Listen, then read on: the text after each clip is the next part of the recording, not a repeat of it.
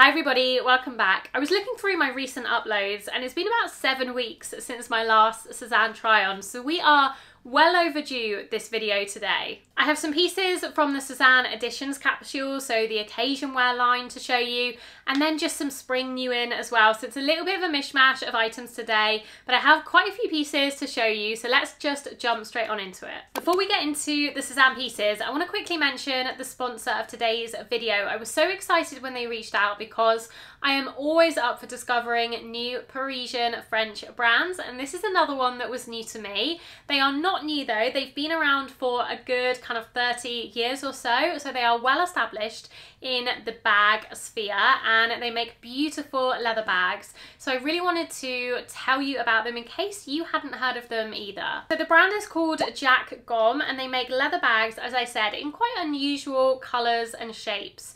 So do check out their website because I've just got one bag to show you today, but they do a whole array of other leather bags. They do those sling bags that are really popular at the moment. They do tote bags, they do backpacks, all sorts of things. But this bag in particular really stood out to me because you guys know I love a woven leather bag. So this is the bag that they sent me. I will put the details of the name and the materials. It also comes in a couple of different other colours. I believe it comes in a really pretty sage green and also maybe a white as well. I went with the brown just because it's very classic, very easy to pair with a lot of my outfits. And it's a stunning tote bag. So it's in this woven leather. I believe it is a coated leather. So as you can see, it's got a sheen to it like many of their bags do.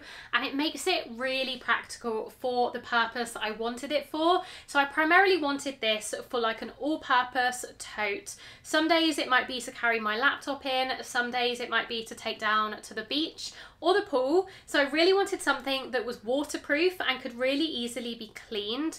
And this does exactly that. Although it is 100% leather, it is coated. So you can really easily clean it up and make it look brand new and you don't have to worry about getting watermarks or stains on it.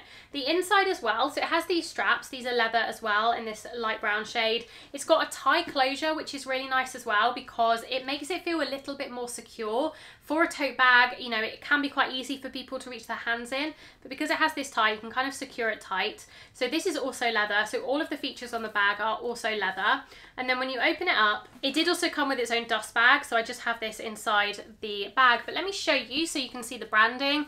So that is the branding Jack Gomme Paris. So they are designed and made in France, which I think is so great because that is really rare these days to find a brand that is still designing and producing its products in its home country in France. So I really love that. Lovely dust bag. And then the inside is again quite a practical fabric. Fabric. It's like this cotton canvas fabric. Um, it's got a leather leather pocket in the same woven leather. It's going to be really hard to show you, but it's got a leather pocket here in the same woven leather, and otherwise it is just a big open tote. It's a really nice size. This could easily fit pretty much any laptop, I would say, because it is definitely big enough. Um, yeah, perfect. I'm going to be taking this to the pool and to the beach all summer long. I love that I don't have to fuss with it. I don't have to baby it, but it is a little bit more elevated than a gym bag or something that um, is practical but not very stylish. I feel like this covers both. It's both practical and really chic as well. I will style this up for you with a couple of the outfits I'm showing today just so you can get an idea of what it looks like all together with a complete um, outfit. It's also got this little tag on here. This is the branding. Again, it says Jack Gomme Paris, made in France. Of course, I couldn't mention a brand without giving you a little bit of a discount code to use if you're interested. So if you use the code KATIE10, you can get 10% off your first order. I will leave the details of my bag as well as their website where you can browse the rest of their collection down below. Thank you very much to Jack Gomme for sponsoring. Now let's get straight into the Sézane pieces. First up is a dress that I tried last year and I ended up sending back and then subsequently have not been able to stop thinking about. So I ordered it again to try on, even though I still don't really need this dress and I probably won't end up keeping it. I just really, it's haunted me for about a year now, so I had to try it again for you. Plus, if you're new here, if you're new to Sézane, you may not be familiar. This was released last year, they've released it again this year. It's called the Jennah dress. It's a really beautiful white dress. It's a stretchy material, so it's more of a bodycon style, and it's almost a maxi length, not quite like a mid-axi length. It's got these pretty fluttery sleeves and this really, really nice, slightly sheer lace. And then quite a deep V. Some people ask me how low cut it is, and it is more on the low low cut side. So I would be careful. It's fine with me and I can wear a bra with it actually. If you're really big or busted, I'm not sure how it would work. It's got a few buttons running down the front as well. They're kind of pearlescent buttons. They're very pretty ones actually. And it's quite a light tone. As you can see, I'm wearing, this is a true white and it is almost a true white. It's just ever so slightly off-white, but it's nowhere near the beigey tone that Sézane often does. So I really like that about it. I really like this a bit whiter, bit brighter than some of their other Ecru items. I love this dress. I think it's so beautiful. If you have an occasion to wear this to, I would grab this because it sold out last year. I, I, don't actually know if it's sold out at the moment, but either way, it's also lined. Um, so you don't have to worry about it being sheer, but because it is white and it is tight, you do have to be kind of careful with what you wear underneath, but you can definitely make it work. And yeah, it does have a full lining as well, so that's really nice to see. Next up is a jacket that I could not resist ordering to try on. I've seen quite a few people wearing this and I just think it is absolutely beautiful can't remember the name of this jacket. Um, unfortunately, when I was trying it on, the label fell off. So I don't know if they're going to allow me to return this now because the label is detached. Um, which is slightly problematic because I don't think I want to keep it. But anyway, this is a beautiful jacket. I love the colour scheme in this jacket. It's got like a lavender, I would call this like almost like a lavender blue. It's got pops of burgundy in it, which I love because it goes really well with all of my burgundy bags. When I wear this bag with this jacket, I just think that's a match made in heaven with the pops of burgundy. Um, so I love that about it. And then it's got some green in it and it's got some, it's got a white background as well. I love this jacket. I think it's such a statement. I like a statement jacket, as you can see with what I'm wearing now. Um, the only thing, the only thing with this jacket is the comfort comfortability of it and the thickness of the sleeves. I almost wish they'd made this jacket as a vest, as like a padded quilted vest rather than having sleeves because the body of it is fine. I think it um, it fits well, it's comfortable, it's not too thick, so you can definitely wear it in the spring and in the autumn. But the sleeves are quite restrictive and when you're moving your arms, you don't have like a full range of motion. So yeah, that's that's my issue with it but I might be forced to keep it if they don't let me return it.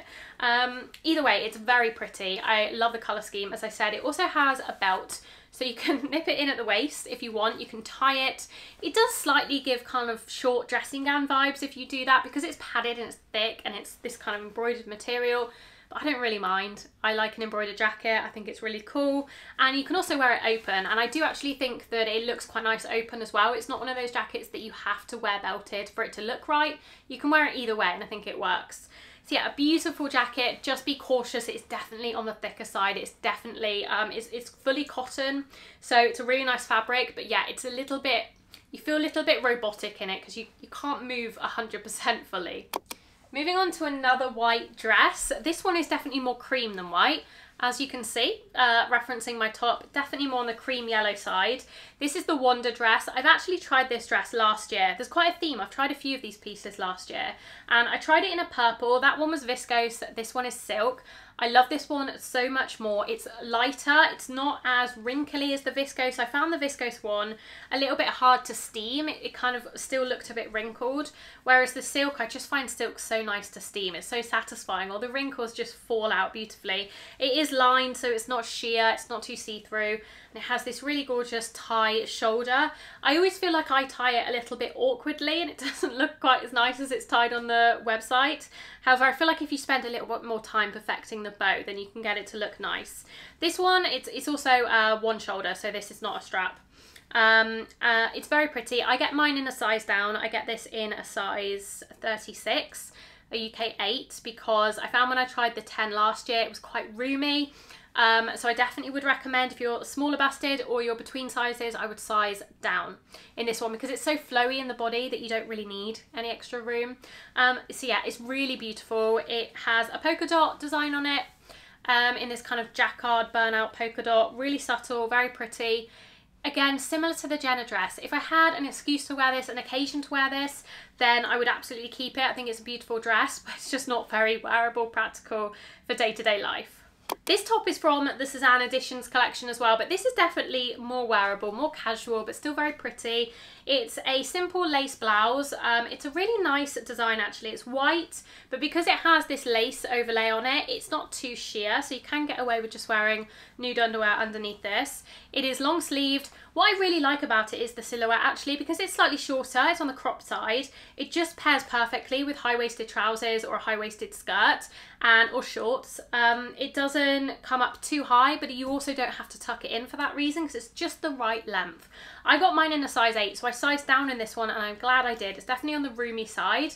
It's got the long sleeves, but they come in at the cuffs with these pretty gold buttons, and then the gold buttons are also on the back as well, which I love. I have actually seen some people on Instagram styling this with the buttons at the front, so I think you can do that. You do have the label at the back, but other than that, you could definitely wear it either way. So a little bit more versatility. It's a really lovely blouse. I think it paired really nicely, as I said, with high-waisted wide leg trousers or jeans or a skirt. And because it's white, it is quite versatile. It's not something I really need. I have a top quite similar to this actually already, so I won't be keeping this one.